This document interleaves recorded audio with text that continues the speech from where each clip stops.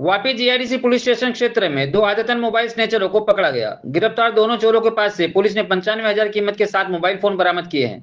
साथ ही दो बाइक भी जब्त की। पकड़े गए दोनों आरोपी आदतन अपराधी हैं, जिन पर चैन स्नैचिंग, मोबाइल स्नेचिंग जैसे गुना वापी जीआईडीसी डुंगरा सिलवासा थाने में चोरी सहित अन्य अपराध पुलिस की किताब में दर्ज हो गए हैं। वापी जीआईडीसी पुलिस द्वारा दिए गए विवरण के अनुसार वापी जीआईडीसी पुलिस स्टेशन के पीआई मयूर पटेल के मार्गदर्शन में पुलिसकर्मी गश्त पर थे।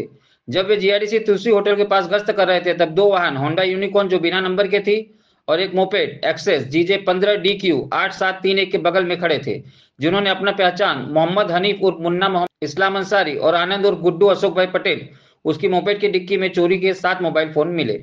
रेंज आईजी प्रेमवीर सिंह, वलसाड़ जिला पुलिस अधीक्षक करण राज वाघेला और डीवाईएसपी बी एन दवे के निर्देश और मार्गदर्शन में जीआईडीसी पुलिस स्टेशन के PI MP Patel PSI R N Hathaliya AH को, विपुल भाई। ए पोको हरीश कामरुल, पीओ चेतन सिंह, जीआरडी जयवीर सिंह की टीम ने वर्ष से काम किया।